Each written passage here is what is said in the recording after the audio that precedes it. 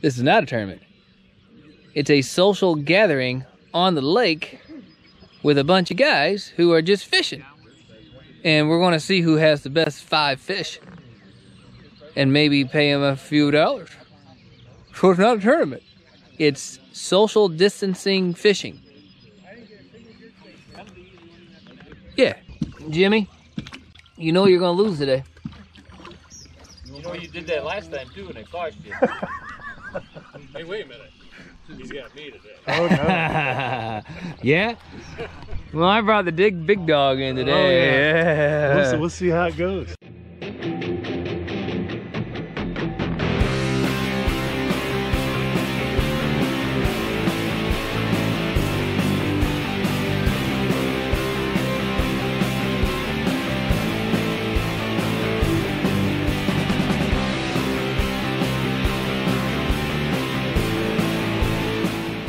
This day was horrible. It took us over four hours to catch our first keeper. And we, the thing is, I marked a lot of bedding fish yesterday in the channels. And well, I, don't, I don't know what to really tell you, but they just did not cooperate. I mean, we threw, we threw everything in the kitchen sink at them. And then we finally left the channels and started looking around the main lake and, and we come across five fish on beds that I didn't see yesterday and scraped the limit.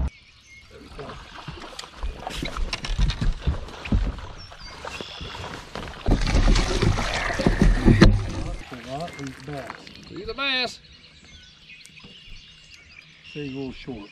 I'll tell you what, like Andy said, it was tough. We found fish in the bed, beds or in the channels. We'd work them. We'd get them to bite, but just couldn't get them to really commit. Couldn't get them hooked. And the fish out here on the lake were real aggressive. We found some good fish in the channels, but you know, like Andy said, they just wouldn't go. Yeah, I think these fish we saw in the main lake were actively coming up throughout the day. And Terry kept saying throughout the day in the channels, like this, this, these fish just seem like they've been beat up. They've been getting a lot of pressure. And then the fish on the main lake, we don't feel more have got had gotten any pressure. Right? We were the first ones really to go after them. He's right there.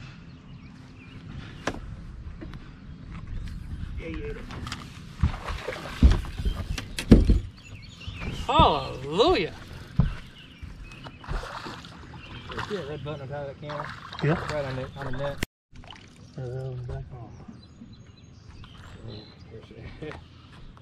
Down there worked so gosh darn hard, but look, in, that is inside. Hallelujah, praise the Lord. We finally got one, four and a half hours in. So much for talking trash to Jim Wheeler this morning, huh? Whew. Three of the keepers came off a drop shot rig with different baits. Everything that we use is going to be in the description, it's right down below in the description.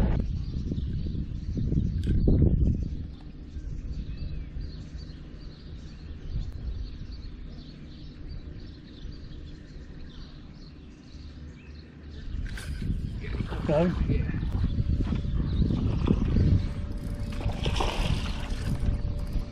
Maybe,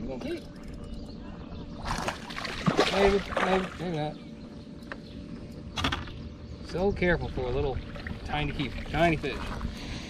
Phew. well, after forever working them, I noticed a minnow swimming around, and he was chasing them off. So I put that little uh, swim bait on it, and just fell off. Right. There it is. And on the third, fourth cast, he come up and crushed it.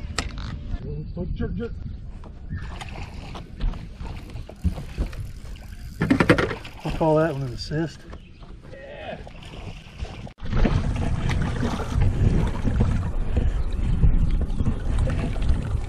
Go. He's still. Yeah, he'll keep. He's not as big as I was thinking he would be. But that's number three in the last 45 minutes or so. Gary, we're gonna do it. That drop shot rig that I use got 10 pound braid with a 8 pound fluorocarbon leader.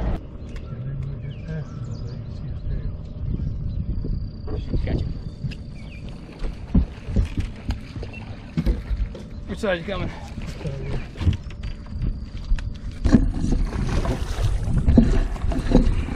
we go, buddy. Hopefully he'll make it. Hopefully. Yeah, maybe not. Oh, I think I think he might. I think he's Gonna make it. That's four in like 45 minutes, 46 minutes now. So I, we've been talking. It's so bad out here that maybe all you need is a five fish limit to at least finish in the money. I don't know about winning it. I know uh, their one team, John John Gibson and Tom. No, we got a pretty good limit, but that number five, four. I'll you look. Yeah, he's just buzzing.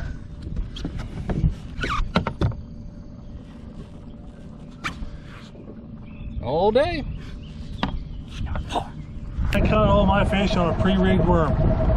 Just uh, just a little snap swivel to keep line twist out.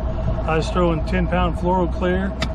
Um, we had a few shorts and had all our keepers on. I, all the keepers I caught come on that. Uh, ain't got him yet. Now we got him.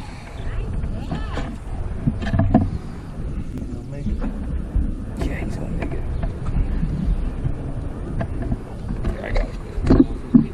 You know, the moral of the story, really, I, I'm just going to take it is hate to steal a line from Mike Iaconelli, but it's to never give up. Uh, we very easily could have been frustrated and, and kind of quit on ourselves after halfway through the day, but we stuck it out and finished second place. After we weigh yours, we might weigh ours, and then if we don't eat, if no one else is over six ten, I'm just gonna Yeah. not weigh unless we need to. There you are. Oh, come here.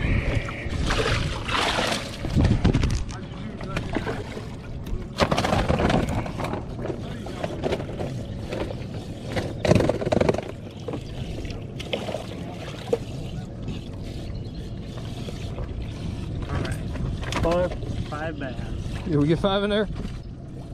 Yep. I hope so.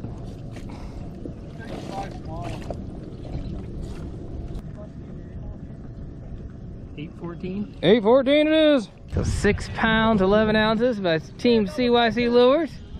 Looks like they're sitting in third. Good run with nine-year-old Chloe Yegley of CYC Lures. Nice job. I mean, I'm for it. Why not?